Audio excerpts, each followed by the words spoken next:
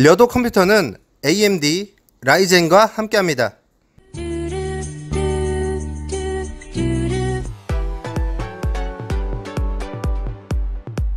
안녕하세요. 려도 컴퓨터의 려독입니다. 오늘은 저희가 판매 중인 90만원대 게이밍 PC를 소개해 드리려고 합니다.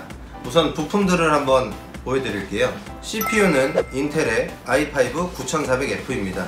이 제품은 내장 그래픽이 없기 때문에 꼭 별도로 외장 그래픽 카드를 추가해서 쓰셔야 돼요. 두 번째, CPU를 사용을 하실 때 고사양 게임 위주로 사용을 하신다라고 하면 발열이 높아지기 때문에 효과적인 발열 제어를 위해서 쿨러는 겜맥스 400을 선택했습니다. 메인보드는 최근 인텔로 PC를 구성하시는 분들에게 가장 익숙한 제품이죠. B360M 박격포. 이 제품으로 인해서 MSI가 메인보드 시장 점유율 1위를 달성하지 않았나 싶습니다. 톡톡히 한 몫을 하고 있는 그런 제품인 것 같아요. 메모리는 삼성의 DDR4 8기가 21300 총 2장으로 16기가를 구성했어요. SSD는 삼성의 860 EVO 250기가 제품으로 선택했습니다. 게이밍 PC의 핵심이죠. 그래픽카드는 갤럭시 RTX 2060 블랙디 모델로 선택했습니다. 이 제품은 RTX 2060 제품 중에 가성비가 거의 극강이라고 생각되는 그런 제품이에요. 파워는 국민 파워죠. 마이크로닉스의 클래식2 600W 제품입니다. 이 제품은 무상 AS 기간이 무려 6년. 엄청난 녀석이에요.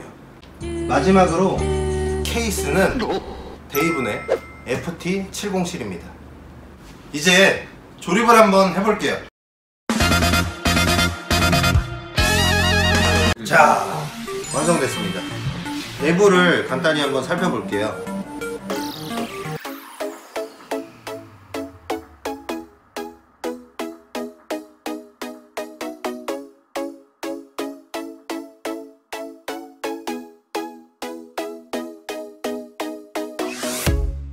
예쁜가요? PC를 간단히 소개해드리면 우선 케이스 DAVEN의 FT707 같은 경우는 전면은 아크릴로 되어 있어요. 그리고 총 전면에 하나 둘셋 후면에 하나. 총 4개의 RGB 쿨링팬이 기본적으로 장착이 되어 있고요. 이 CPU 쿨러를 보시면 방열판이 굉장히 큼지막하죠.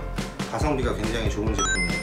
딥쿨의 겜맥스 400 쿨러 같은 경우는 9400F가 고사양 게임 시 높아지는 발열을 효과적으로 제어해주는 그런 역할을 하기에 굉장히 적합한 녀석이에요 그래픽카드는 백플레이트가 장착이 되어 있고요. 그래서 기판을 잘 보호해 줄 수 있고 전체적으로 선정리나 이런 부분들도 아주 깔끔하게 잘 되어 있습니다. 그럼 이제 게임 테스트를 해보러 갈까요?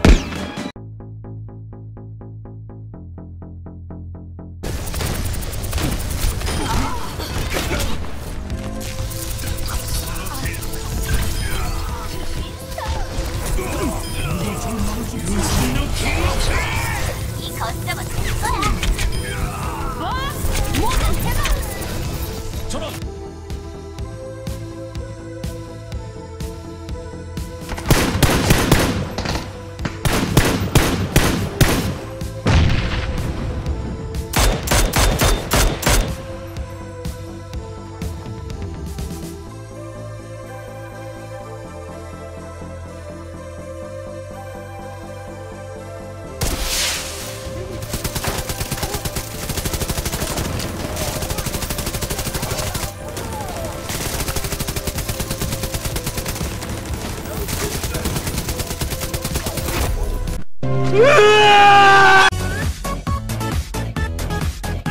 네 지금까지 려독 컴퓨터에서 판매 중인 90만원대 게이밍 PC의 성능에 대해서 알아봤는데요 어떻게 보셨나요?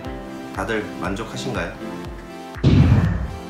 제 생각에는 이제 90만원이면은 PC방을 갈 필요가 없다 이제 90만원이면 내 방이 PC방으로 변신할 수 있어요 지금까지 소개해드린 90만원대 게이밍 PC의 구매를 원하시거나 상담을 원하시는 분들은 려도 컴퓨터로 연락주세요. 구독과 좋아요 알림 설정까지 잊지 마시고요.